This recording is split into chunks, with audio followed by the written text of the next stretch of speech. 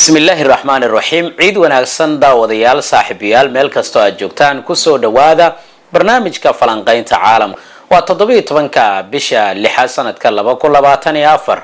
Mar kale ciid wanaagsan. Waa dad ka qaybgalaya aaska loo sameynaya askari ay xoogagga iskacaabinta ee falastiiniyiinta ay ku dileen dhinaca magaalada rafax oo inta ka baxaysa mid la mid a horey ayay kaga baxday dad badan oo shacab ah oo falastiiniyiin ah sawirkaani waxa uu ka tarjumayaa tirada dadka shacabka ee falastiiniyiinta ee lagu dilay laguna dhaawacay dagaalka ilaa iminka ka soconaya magaalada khazaab waxaa kaloo aan kula wadaagi doonaa macluumaadka ku saabsan xogaga iskacaabinta ee falastiiniyiinta gaar ahaan sirdoonkooda isbeddel weyn ayay ku sameeyeen halka lagu hayo maxaabiista. Macluumaadkii ugu dambeeyey isbedelkaasi saameynta uu yeelan karayo ayaan kula wadaagi doonaa. Taangiga jooga in ka badan saddex milyan oo dollar israa'iil ay ku faani jirtay kuna tilmaamaysay taangiga shabeelka. Waxaa lagu burburiyey gantaalka alyaasin boqol iyo shan. Maxaa sababay in saraakiisha iyo generaalada ugu sarreeya ciidamada israa'iil ay ku dhawaaqaan in la joojiyay qeyb ka mid a howlgalkii ka soconaya koonfurta magaalada khaza weliba la joojinaya maalin kasta saacad cayiman. Arrintaasi khilaafkay ka dhex abuurtay madaxda israa'iil wararkii ugu dambeeyey khasaaraha xoogan ee ciidamada israa'iil loo geystay soo dhawaada saaxiibayaal meel kastoo aad joogtaan ku soo dhawaada maracadda show. Haddii aad saaxiibadeena ka mid tahay lagsaar muuqaalka. Mar kale ciid wanaagsan. Muuqaalkan aada arkayso waa goob lagu aasayo askar ka tirsan ciidamada israa'iil oo lagu dilay dhinaca iyo rafax. Howlgalka rafax ka soconaya jenaraalo badan ayuu dhexdooda khilaaf keenay. Netanyahu waa uu yaaban yahay.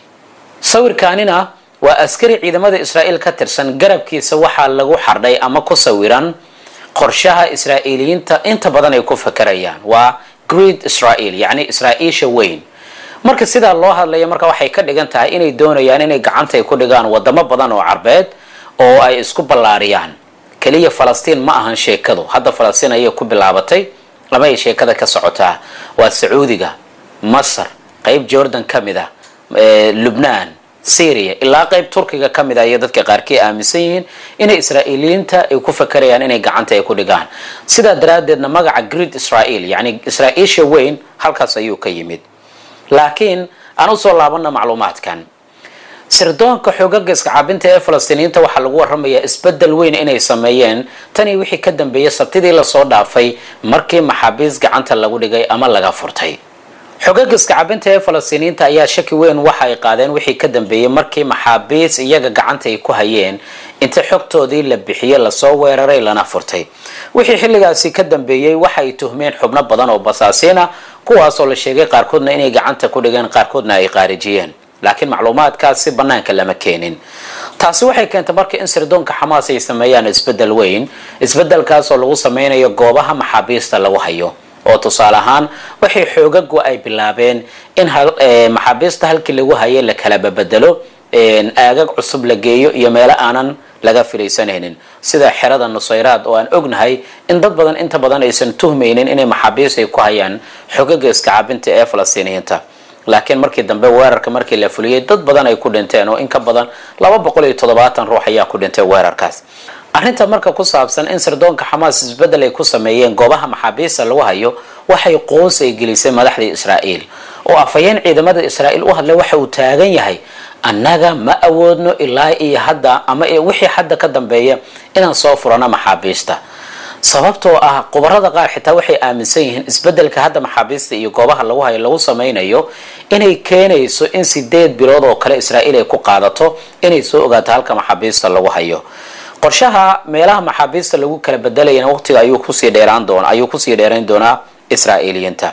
Sidaas oo ay tahay marka afhayeenka ciidamada israa'iil u hadle wuxuu taagan yahay way adag tahay inaan maxaabiista soo furanno xoogaga iskacabinta ee falastiiniyiinta looma awood sheegan karayo wayna adag tahay in maxaabiistan xogtooda la helo. Sababtoo ah dadkii xogta kuusoo gudbin lahaaba waa kuwa la dhibaateeyey inta badan ku taaganba inay deegaankooda u dhimanayaan oo ay difaaci doonaan. Shalay ayaa tusaale kuugu filan muuqaaladaan idinla wadaagay dadka shacabka ee falastiiniyiinta dhismayaashii la burburiyay iyo masaajidadii intay yimaadeen ayaa iyaga oo xitaa si fiican aan u labisnayn qaarkood murugaysan xitaa qaarkood iyagoo dhaawacan ayay masaajidadii ku dukanayeen salaadii ciida taasoo ka dhigan halkan annaga ayaa leh meelna ugama soconno.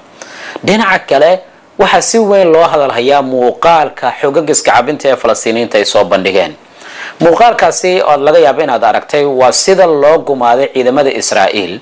Xilli ay ku sugnaayeen dhinaca rafax maalintii shalay waxaan idinla wadaagay in sideed askari oo ciidamada israa'iil ka tirsan galbeedka rafax in lagu dilay.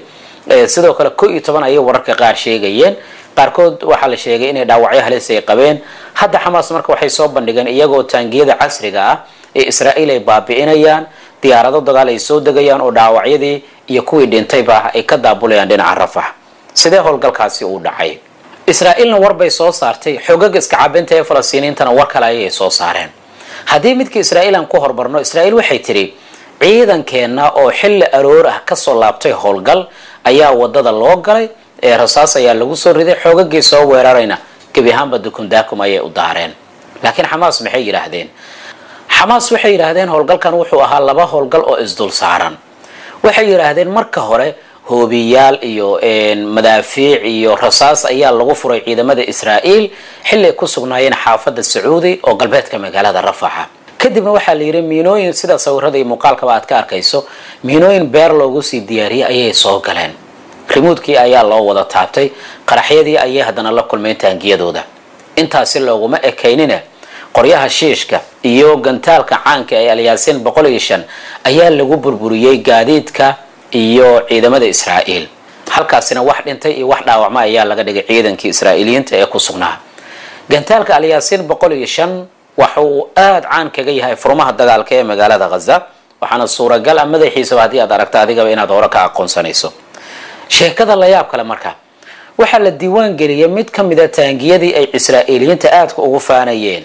Weliba ay ku tilmaameen shabeel inuu yahay inay xogag iska cabinta ee falastiiniyiinta ay baaba u daareen taangigan waxaa la yidhahdaa timar ama shabeel waa taangi israa'iiliyiintu ay sheegeen inuu ka awood sarreeyo nooca mirkava ama uu la heer yahay taangiga mirkava la yidhaahdo gantaalada qaar aysan waxba ka tarin awood dheeraada uu leeyahay. Waxaa kaloo ay ku tilmaameen in sida orodka shabeelka oo kale uu leeyahay taangiga ay ugu magacdareen shabeelka ama timir.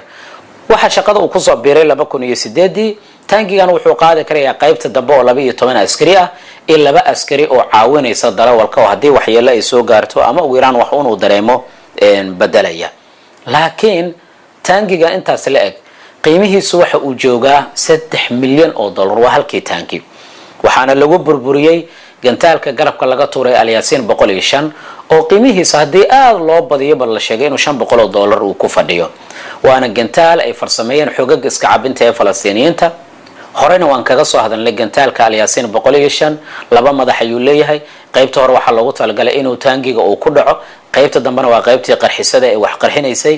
Weliba taangigan marka la bartilmaamaysanayana xarumaha ugu muhiimsan ee qarax dhalin karaya ayay xoogaga iska cabinta ee falastiiniyiinta ay ka bartilmaamaysadaan sheekada la kale marka waxay tahay in israa'iil taangiga ay ku faanaysay ee saddexda milyan oo dollar joogay. Haddii halkaasi lagu baabiiyey isna uu la mid yahay taangiga noocii mirkava oo aan ognahay in ka badan kun taangi inay xamaas ay sheegeen inay ku burburiyeen dagaalka ka soconaya magaalada khaza khubarada qaar marka waxay qabaan haddiiba gantaalka alyaasiin boqol iyo shan oo aan dibadda lagu farsameynin qalab casri aana lahayn haddiiba sidan u baabi'inayo taangiyadii israa'iil ay ku faani jirtay waxaa halkaasi banaanka imaanaya fadeexadda israa'iil iyo ciidankeeda iyo qalabka ciidamada israa'iil ay isticmaalayaan in ay burburin karayaama xoogag hubaysan oo shan iyo toban sano go-doon ku jiray magaalada khaza ku go-doonsanaa dagaalna uu ku socdo in ka badan sideed bilood iyadoo weliba la kaashanayo sirdoonadii reer galbeedka oo xog walba soo gudbinayay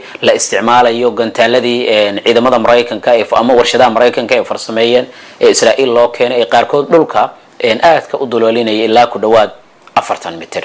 Waxay kula tahay? Qaybta hoos aragtidaada ku reeb lana wadaag saaxiibadaada aad baad u mahadsan tahay